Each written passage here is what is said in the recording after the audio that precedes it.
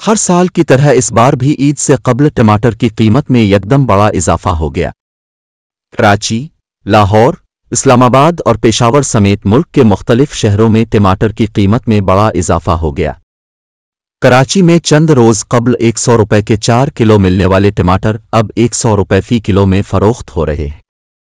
क्वेटा में भी ईद से कबल टमाटर की फ़ी किलो कीमत में अचानक एक सौ फ़ीसद इजाफा हो गया है और टमाटर की फ़ी किलो कीमत पचास से बढ़कर एक सौ रुपए तक पहुँच गई। है मार्केट जराए का इस हवाले से बताना है कि ईद पर चूँकि टमाटर की मांग में इजाफा हो जाता है, इसलिए इसकी तलब बढ़ते ही इसकी कीमत भी बढ़ जाती है।